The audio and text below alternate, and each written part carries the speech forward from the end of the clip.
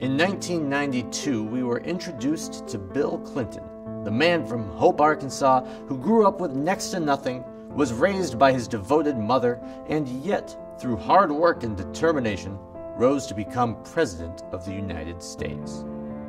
In 2008, President Barack Obama's similar tale of overcoming early adversity warmed the country.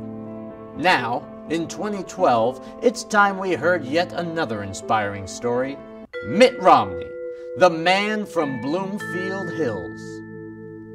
Mitt's hardscrabble roots in the rough and tumble golf courses and valet parking lots of one of America's wealthiest cities brought him pluck. Gated communities and fleets of servants brought him fortitude.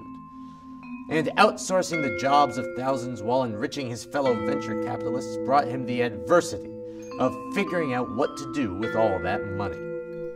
The Man from Bloomfield Hills, premiering online at moveon.org on August 30th. All true, all grit, and 100% Mitt.